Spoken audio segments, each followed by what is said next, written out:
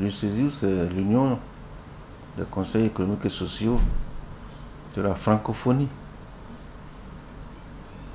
Et dans le Conseil économique et social du Bénin, un membre fondateur, nous étions avec les autres pays, au moins 20 pays,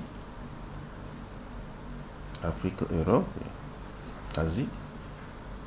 Et j'avoue, mon pays, le Bénin, le Conseil économique social du Bénin, qui a toujours battu, qui est respecté des autres conseils économiques et sociaux, a été réélu au poste de trésorier général.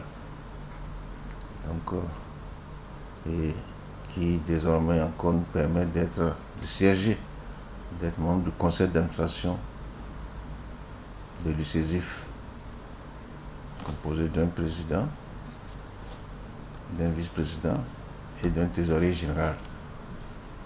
Bien sûr, la candidature était assez mais comme vous le savez, notre pays est très très respecté en ce moment. Il faut l'avouer.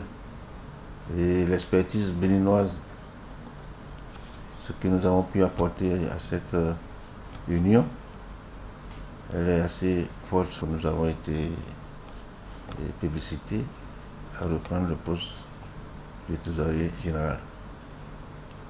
Sincèrement, j'en profite pour remercier mes pères qui, encore une fois, nous font confiance.